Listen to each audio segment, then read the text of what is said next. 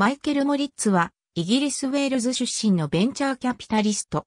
米セコイアキャピタルのチェアマンであり、グーグルの前、取締役。ウェールズ、カーディフのユダヤ人の家族に生まれる。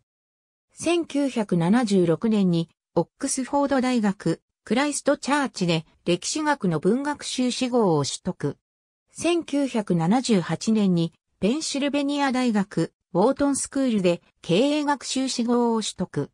タイム誌の記者を務めた後、1986年にベンチャーキャピタルのセコイアキャピタルへ入社。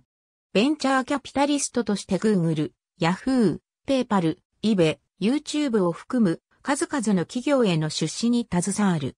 これまでに Google やペーパルなどの取締役を務め、現在でもカヤックやザポズの取締役を務める。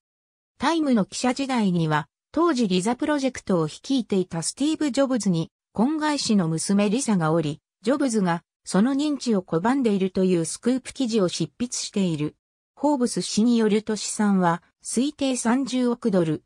作家のハリエット・ヘイマンを妻に持ち、二人の子供たち、共にサンフランシスコに在住。アメリカ合衆国大統領、バラク・オバマの熱心な支持者。